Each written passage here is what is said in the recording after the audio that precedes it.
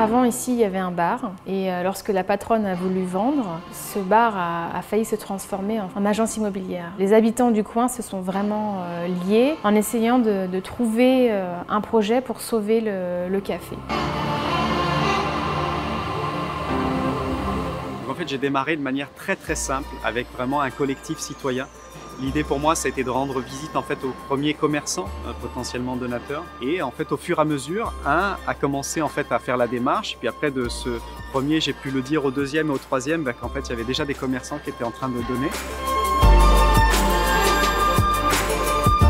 Nous sommes ici euh, dans le jardin éco-poétique du 16 bis à Saint-Ouen-sur-Seine, qui est un jardin que j'ai créé il y a 7 ans et qui était en fait une friche d'acacia et qui est devenue une oasis urbaine.